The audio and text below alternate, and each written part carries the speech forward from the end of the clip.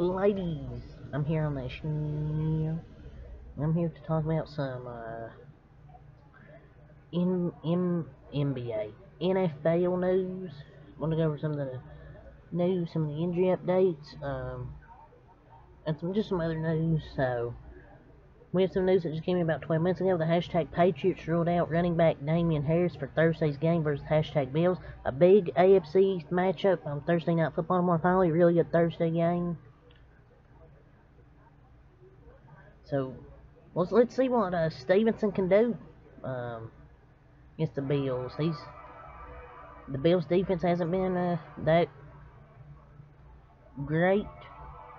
I mean, they did hold Chubb, hold Chubb to 14 yards, but I feel like they can hold him in the running game. Um, but he, I think he'll get some a good amount of receptions for like a decent amount of yards, like 70, 80 yards. Because they're using him in the running game and in the passing game, so it's Rhamondre Stevenson time. So Rhamondre fantasy owners, they're loving this news. I feel like Rhamondre's better anyways than Damien Harris. Damien Harris is a good backup running back, if you ask me. Uh, QB Matthew Stafford will not practice today and is still in concussion protocol, Sean McVay said. So he'll not practice, practice and he's still in concussion protocol. Feels like he's been concussion protocol, for like a month. The Rams are pretty much the 2021 49ers, but with no picks in the next couple of years for their future. They trade all that future for that one Super Bowl ring. The Rams season is over anyway. It's just er, I was about to say Sam Darnold, Aaron Donald, and Stafford just to come out and say they're not playing the rest of the season. There's no point in playing the rest of the season. But if the Seahawks do somehow manage to lose this game, and the Rams don't have Stafford, Kupp, or Aaron Donald, then they don't deserve a playoff spot. So speaking of Aaron Donald, the Rams DT Aaron Donald is ruled out for Sunday's game versus the Seahawks. This is his first ever career NFL game missed. Bears say, say, oh, it's time for the Rams to tank. They have no picks to tank for. And maybe Aaron Donald should have retired on that uh, after winning that Super Bowl ring. But it's over for the Rams. And the Lions have that first round pick, so it ain't looking good for the Rams now or their future because they have no draft picks. Ravens running back J.K. Dobbins has your knee has returned to practice Wednesday, which begins his 21-day window in which he can get activated off injured reserve. So J.K. Dobbins is going to get activated off injured reserve, uh, possibly soon. But hopefully he doesn't get hurt again because he's he's pretty he's pretty decent running back for that team. Steelers running back Jaylen Warren told reporters that doctors have cleared him to return from his hamstring injury and he expects to play Sunday versus the hashtag Falcons. He returns in one week with that, and Witherspoon is held eight with a, with the same injury. But but some uh, good news there for Steelers fans have that running back duo and Harris and uh, Warren. I mean, Harris has been playing really well recently, and Jaylen Warren's been pretty underrated the whole season.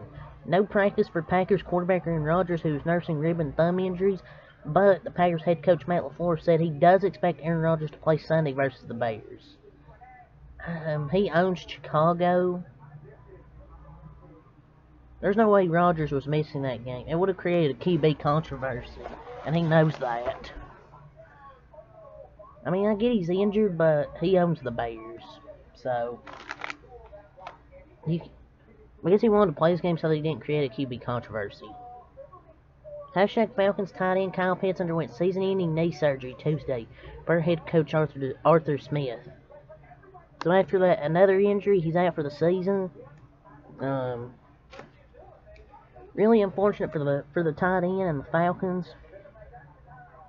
The Falcons never used him, so it, so his production will be that will be the as if he was playing. Falcons need to trade him, or or if Pitts was smart, he would uh, request for a trade. And they're run heavy team, and, and well, maybe the part of that is they also don't have a good quarterback and Mariota, and they're a run heavy team. So it really doesn't like fit the team.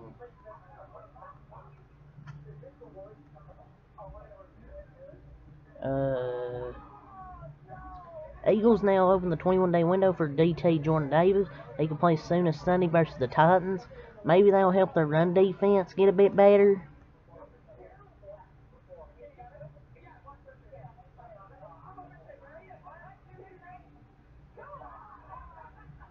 But they're gonna get but they're gonna get destroyed.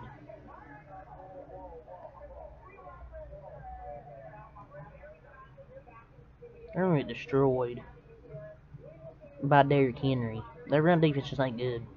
Former NFL quarterback Trent Dilfer is expected to become the next head coach, football coach at UAB, sources told ESPN's Pete Thamel. So, although deals have been finalized, they are expected to come to terms in the coming days.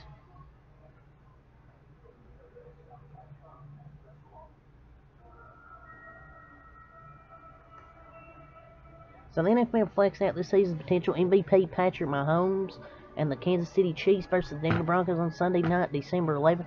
To get this matchup, uh, the Los Angeles Chargers versus the Miami Dolphins, Tua Tagovailoa versus Justin Herbert. So that's crazy, man. Um, I know if they should have flexed the.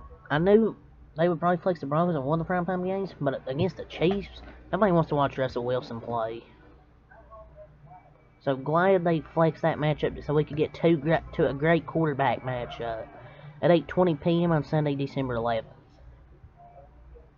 So we have a new top six in the college football playoff poll. I know this isn't NFL related, but this tweet that I'm looking at through Adam Schefter's Twitter, I didn't go to the top 25 rankings, or mostly top four, and then the ones that are out. Georgia's one, Michigan two, TCU three, USC four, and new top six. Ohio State dropped to five, and Alabama six. So, mm, so for the college football fans out there, there's your top six college football playoff rankings. The six that really have a chance. Longtime former Ravens DT Brandon Williams, who, who had been waiting for the right opportunity, opportunity like Linval Joseph and Ndamukong Suh, is signing with the Chiefs practice squad with the idea of going to the active roster per sources. He reunites with the Chiefs defensive line coach. That's why he went to the Chiefs with their defensive line coach. And he's 33 years old. He spent nine seasons in Baltimore and went to his lone Pro Bowl in 2018. And he becomes a late season addition in Kansas City. So through 11 games, Maxx Crosby has recorded 67 tackles, 10.5 sacks, 17 tackles for loss, 22 quarterback hits, 2 forced fumbles, 2 passes de defended, and 1 fumble recovery. And he's fourth in the NFL sacks, third in the NFL TFLs, 67 total tackles, leads NFL defensive linemen, 17 tackles for loss. Maxx Crosby's been the long bright spot along with Josh Jacobs, I think, this year for the Raiders. They've been the two bright spots for the team. And he's blocked a field goal. And this without and this is and this is without any help from Chandler Jones. Bears have now placed wide receiver Darnell Mooney and safety Eddie Jackson on injured, an injured reserve, effectively ending their season. So they're both out for the season. They're pretty much going to probably try and lose every game here from now on. So, and it sucks for the sucks for the Bears. Bears might lose every game the rest of the season. So with a 80, 80 safety, Eddie Jackson out due to a foot injury, the Bears are signing free agent safety Adrian Colbert per his agents. So NFL playoff scenarios. Uh, for week 13, you got two Minnesota Vikings 9 and 2 versus the New York Jets 7 and 4 on, on Sunday on CBS at 1 p.m. Minnesota clinches a NFC North Division title with a Minnesota win plus a Detroit loss or tie, or a Minnesota tie plus Detroit loss. So that's playoff scenarios for the Vikings and the Philadelphia Eagles versus Tennessee Titans. Sunday, 1 p.m. on Fox. Philadelphia clinches a playoff, playoff berth with a Philadelphia win plus Washington loss plus a San Francisco loss or tie, plus a San Seattle loss or tie. As long as both San Francisco and Seattle don't each don't tie, or Philadelphia win plus a Washington tie, plus a San Francisco loss, plus a Seattle loss. So this is the press release for playoff scenarios.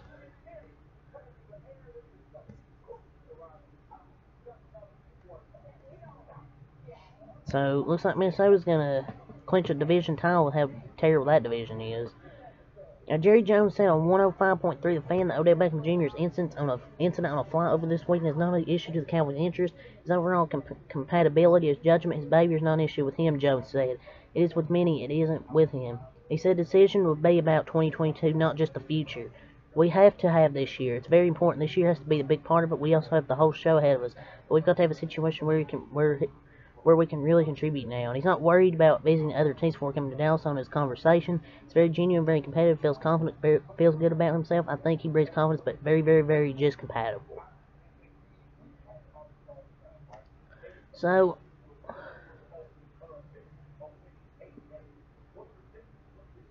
I mean, it seems he might go to the Cowboys, possibly.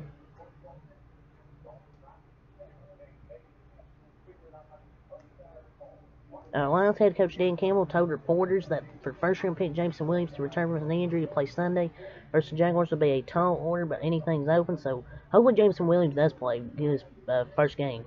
Brett Favre, one of the 38 defendants being sued by the Mississippi Department of Human Services (MDHS), filed a motion through his lawyers Monday in Mississippi Judicial Court to, to, to dismiss the complaint against himself and Favre Enterprises.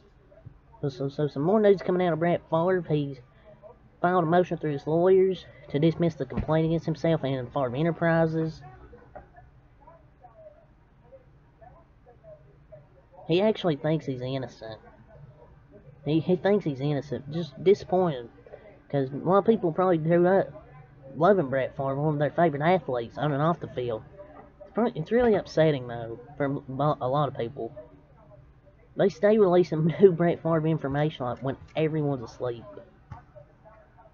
Because this was released like 449. Adam Schefter doesn't sleep. So, Elijah Mitchell is expected to miss 6 to 8 weeks with the knee injury he suffered, so about the same as his first injury. He's very talented, just he's always hurt.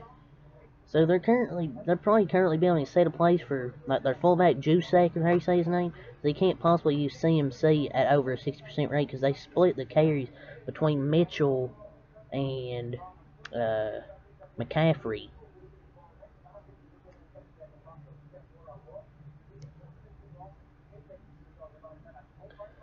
Um, uh, so, Joe Mixon, who missed Cincinnati's win against the Titans due to a concussion, is trending in the direction of being able to play Sunday versus the Chiefs. So, it's looking like Joe Mixon's going to be able to play against the Chiefs. And the NFL denied wide receiver DK Metcalf's appeal, uh, or like two days ago the appeal of the 30k fine imposed for arguing with an official during Bucs game per source. During the game, Metcalf was was said to ask the official if a play was pass interference, and, and the official was said to respond, "Did I throw a flag?" I don't know why they don't find being bad at their jobs.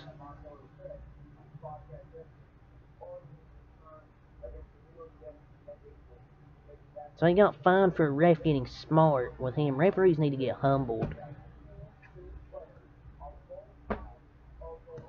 Referees need to get humbled.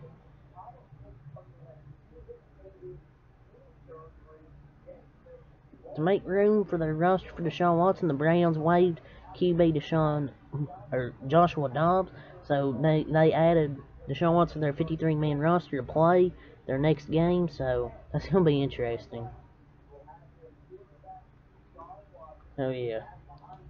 Uh, that's all save for this NFL news. So, until next time, have a lot. Peace.